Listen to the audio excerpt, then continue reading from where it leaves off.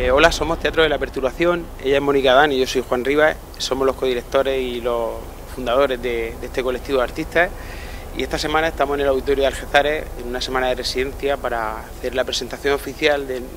John Satter el, Pacto, que es un trabajo que, ya ha llevado años de, bagaje. Y es un trabajo que cualquiera que, que tenga un gusto por, por la música, por la danza, por el movimiento, por por los ambientes dentro de la escena, debería venir a verlo porque mantiene al público en, una tensión constante durante 57 minutos que dura el montaje. Hay gente que ha llegado a hablar de él como danza, teatro, terror, incluso, lo que no ha sido nuestra pretensión, simplemente a través de una pretensión y las metáforas que se generan en la escena, con el ambiente, el espacio sonoro que es muy importante, que queremos resaltar a, Adrián, que ha sido la persona que ha llevado la producción del, del sonido, con la idea original nuestra. Adrián García Moreno, y estaremos aquí en el auditorio el viernes y el sábado a las 21 horas y os esperamos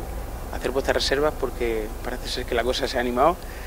Y bueno, va a ser un montaje, como os digo, muy atípico y pienso que no va a dejar a nadie indiferente, independientemente de la edad que tenga uno, de los gustos musicales o de la danza, va a ser algo que pienso que, que vamos a dar un poco que hablar.